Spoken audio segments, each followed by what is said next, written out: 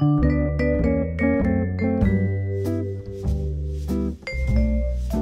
everyone, this is Sandy. Welcome back to Easy Cooking. So today I'm going to be showing you how to make a cake. This one is an individual lemon cake, so it's perfect for Mother's Day. The preparation time and the cooking time combined is going to be less than an hour. So I hope you enjoyed this video. Let's get started. Remember you will find a list of ingredients in the description box of this video and you will also find it in my blog where you can print the whole recipe. Let's get started. Preheat the oven to 350 degrees Fahrenheit.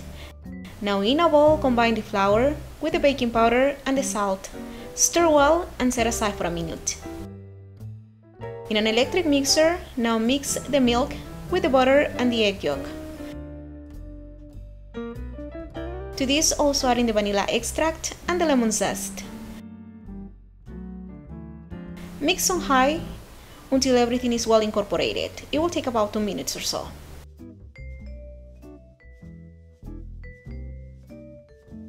Now set the speed to low and then add in the sugar. Now set the speed to high and continue to mix on high for about 3 minutes or until the sugar is well dissolved and the water has melted with the rest of the ingredients.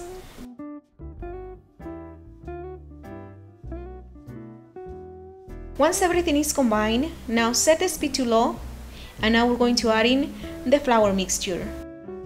Mix on medium low until everything is well incorporated into a smooth batter. Now butter and flour your pan. I'm using a 5x5 heart-shaped pan.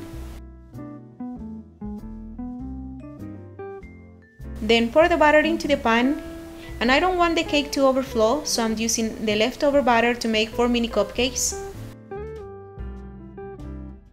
Now we're going to bake this at 350 degrees Fahrenheit for about 25 to 35 minutes or until the cake is cooked. You will know the cake is cooked when you insert a toothpick right in the middle of the cake and it comes out with a little bit of breadcrumbs. The mini cupcakes will cook in about 10 to 12 minutes, so keep an eye on them. Once the cake is cooked, now let it cool in the pan for about 10 minutes. Then run a knife around the edges of the cake and then transfer it to a cold surface to cool completely.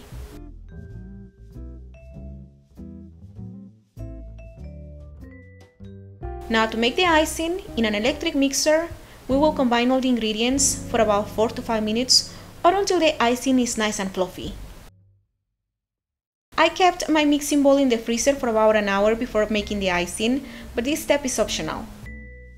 And like I said, just mix all the ingredients on high speed for about 5 minutes or until the icing is thick and fluffy. Once the icing is done, you can place it in the refrigerator until you're ready to use it. Once the cake is completely cold, we can decorate it. But first, we're going to slice it in half horizontally so we will have a two-layer cake. Now top the bottom layer with the lemon curd. Make sure it's a nice even layer and then place the second layer of the cake on top.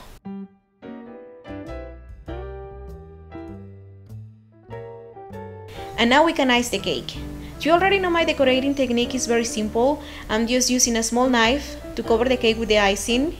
And it doesn't have to be perfect at all. I'm going to sprinkle a little bit of shredded coconut over the icing so the shredded coconut is going to cover any imperfections.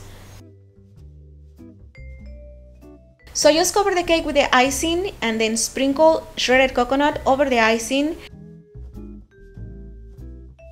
and I will also decorate with these roses. I bought them at Michael's and they look super cute on my cake. They add a touch of color and the cake looks so pretty and elegant. It's perfect for Mother's Day. I will also decorate the mini cupcakes with the leftover icing and the shredded coconut and that's about it, I'm done. Enjoy!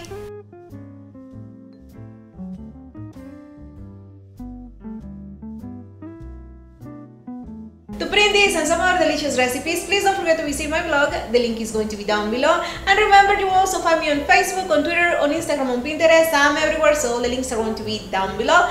If you want, you can check them out. And of course, don't forget to subscribe to this channel to be notified of future updates. Thank you so much for watching and I'll see you next time. Bye bye!